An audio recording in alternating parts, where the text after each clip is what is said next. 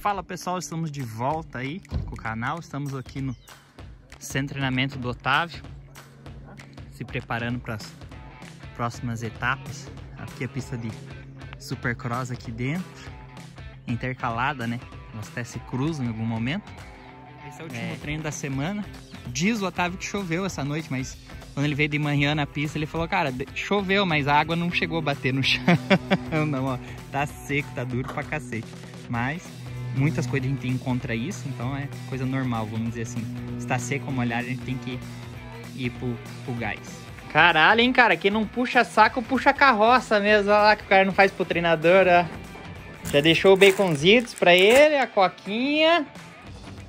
O pãozinho. É, cara, outro nível, né? Olha lá, o cara deixou, veio com a moto, já deixou a moto preparada e tal. Normalmente.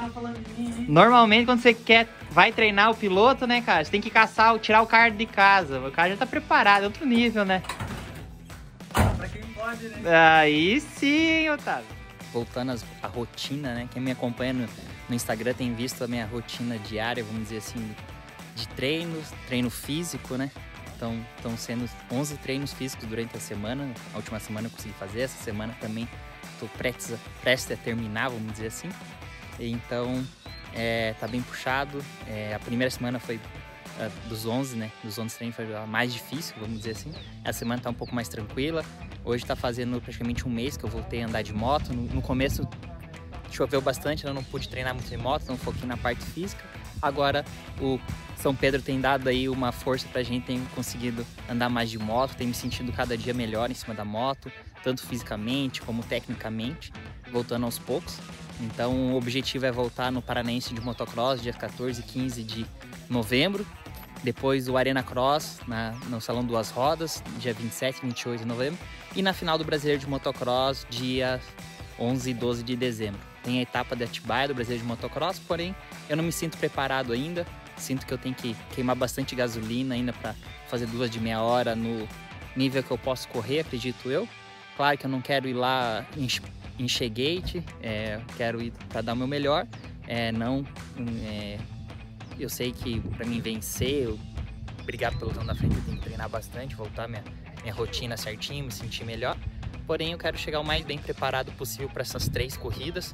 Claro, o Paranaense vai, usar, vai, vou utilizar como uma preparação, ver o que, que eu preciso melhorar. Um campeonato que tem um nível altíssimo, né? Tem, é, o PP está disputando, o Rafael Faria, o pessoal da Honda às vezes aparece. Então, com certeza vai ser um bom teste. E depois o, o Arena Cross é o único que eu sempre, sempre me dei melhor. Claro, não precisa tanta preparação. E sempre sobressair um pouquinho aí no, então acredito que com pouco tempo eu vou conseguir fazer um bom resultado. E de, depois a final do Brasileiro de Motocross, a gente vai ter um bom tempo aí para se preparar e tentar fazer um bom resultado lá também. Então é isso aí, pessoal. Acompanhe como que foi mais, mais uma semana de treinamento. Praticamente eu treinei a semana toda aqui no Otávio. É a pista, subidas e descidas, vamos ver pela, pela GoPro. Então, a pista está bem esburacada em alguns pedaços, outros pedaços nem tanto. Então tá, tá bem legal aí, acompanhe. Valeu!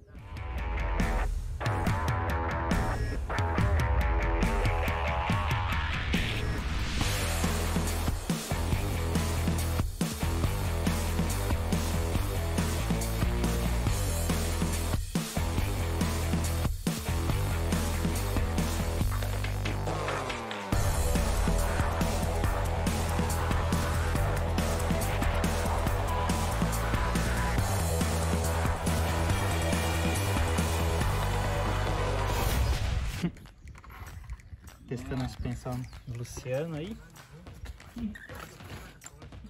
Deu uma, uma preparada, tem umas partes internas que eu já tinha de fora, que eu trouxe de fora. Porém, o Luciano que é o faz a mágica acontecer. o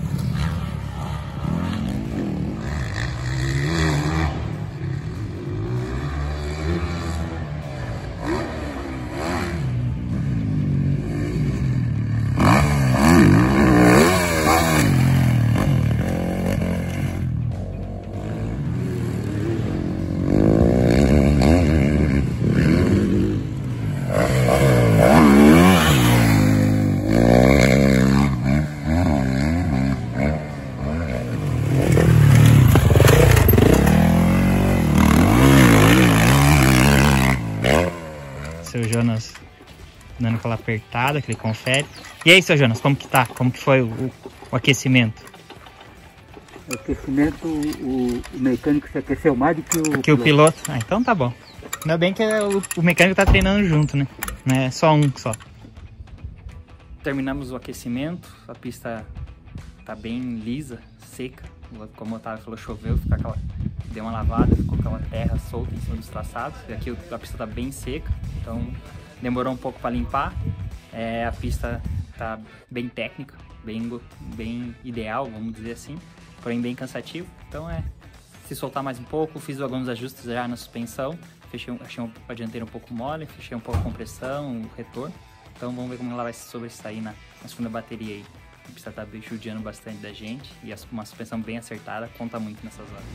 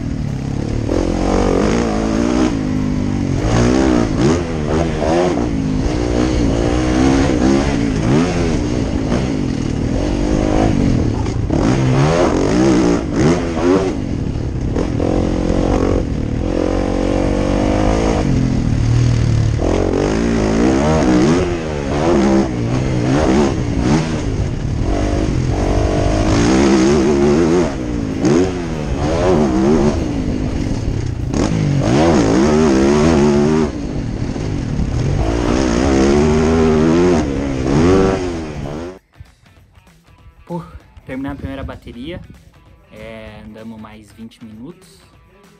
Eu tô bem cansado da semana, é, mas parei mais por causa da ansiedade. A ansiedade me toma conta e, e eu não consigo me concentrar, então caiu bem a minha concentração, o foco. Então preferi parar, não cometer nenhum erro, me machucar, essas coisas. Porém, já consegui sentir melhor a suspensão, a gente mexeu na, na velocidade rápida, já vou mostrar para vocês o que, que é, o que significa, né?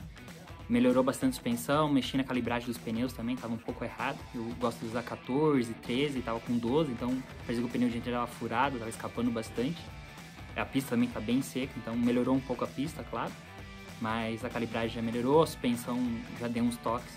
Na dianteira eu fechei um pouco o retorno, um pouco a compressão a traseira mexendo na velocidade rápida melhorou bastante, principalmente na descida, estava quicando lateralmente, acho que dá para mexer um pouco no retorno, então cada treino vai evoluindo. Essa aqui é a porca de velocidade rápida, né, a azulzinha. Então, a porca de velocidade rápida, o que ela vai influenciar na moto, né, nos buracos de velocidade rápida, se você vem e a moto começa a quicar lateralmente ou trabalhar contra a dianteira, velocidade rápida, né, então você abrindo mais ela, ela vai afundar um pouquinho mais a traseira, vai te deixar mais confortável, a frente um pouco mais alta. Então essa é principalmente é a função, né? Então como a pista, aqui a pista tem a descida, tem os outros buracos, eu tava sentindo um pouco a traseira trabalhando contra a dianteira, eu vi que ela tava praticamente toda fechada, eu abri um pouquinho mais, já melhorou bastante. Então isso é a principal função dela. Claro, tem não é só ela que influencia isso, às vezes o teu retorno da traseira é muito fechado, ela também vai trabalhar contra a dianteira, às vezes o sag tá, tá é, muito sag, pouco sag, pouco sag também, a traseira fica mais alta da moto, ela trabalha contra a dianteira. Então tem várias formas de você trabalhar na tua suspensão aí, regular do jeito que você gosta ou ficar mais confortável.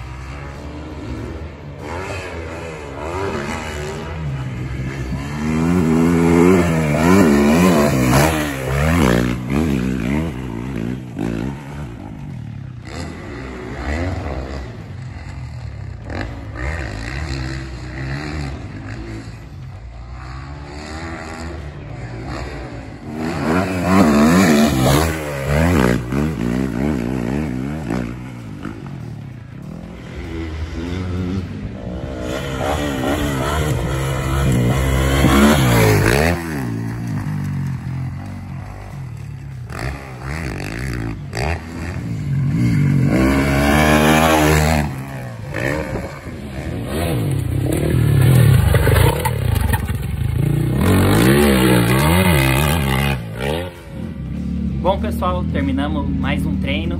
A última bateria, mexi no setup, a suspensão melhorou mais, equilibrou mais a moto. Comecei a, a me sentir mais confortável, a conseguir melhorar o, a, a, minha saída de curva, atacar a minha saída de curva. A pista está bem seca, porém você tem que ser agressivo para ser rápido. É, tô me sentindo bem, melhor fisicamente. Claro, hoje é sexta-feira, tô moído fisicamente dos treinos durante a semana. Mas foi uma semana super produtiva, ah, conseguimos acertar a suspensão da moto, cada dia mais confortável, é, mais confiante, já estou me mexendo muito mais em cima do tanque da moto, é, é, me movimentando, né? Motocross é muito isso, quanto mais você se movimentar em cima da moto, mais rápido você consegue andar. Você consegue fazer a moto trabalhar a favor de você, né? Não a moto te dando porrada, você trabalhando quanto a moto. Então, quanto mais se movimentar, mais confortável você se sente em cima da moto, mais veloz você consegue ser, mais confiante. Então, estou super feliz. É, meu primeiro objetivo vai ser o Paranense de Motocross nos dias 14, 15 ou 13 e 14 agora de novembro. Então tem duas semanas aí pra gente se preparar bem. É, aumentar agora o ritmo das baterias, o, o, a intensidade, é, diminuir um pouco a carga física, né? Então com isso consigo puxar mais em cima da moto.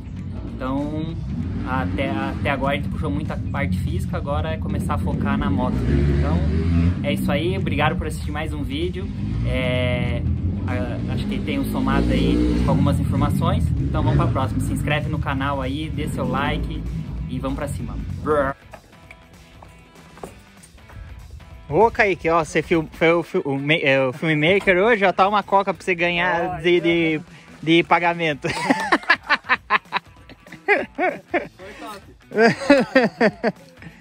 Daí, senhor, como foi o treino hoje? É, a Mas tem a tua lá.